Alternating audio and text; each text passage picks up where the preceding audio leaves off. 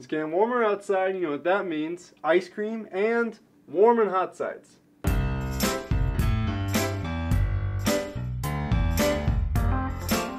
A large financial organization wants to ensure little to no interruption to critical services during a disaster.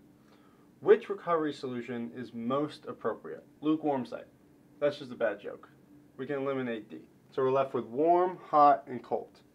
So, in a disaster, sometimes our primary site, where we do most of our processing or our critical services, may become unavailable because of the disaster. So we want to have a backup site. We want to have an alternate site, right? We want redundancy. We want to think about that keyword in security, availability. So there's typically three ways that we could go about setting up an alternate site. So cold, warm, or hot. Let's start with a cold site. Think of a cold site as just basically a giant empty building. Cold site has little to no hardware, definitely no software, no communication line, and no data, right? None of our organizational data actually exists on our cold site. So it's relatively cheap to maintain because there's not much in it. However, if we want to restore it, it's going to take a lot. It's going to take a lot of effort and time. A hot site is just the opposite.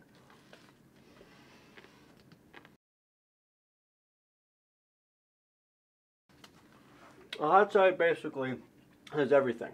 So within your building, you have all your servers, all your databases, all your workstations, all of your data is periodically updated within minutes or during the day. And if something goes wrong with your primary facility, your redundant site for hot site is ready to go like that. Now that we know what the two extremes are, it's pretty easy to figure out what a warm site is.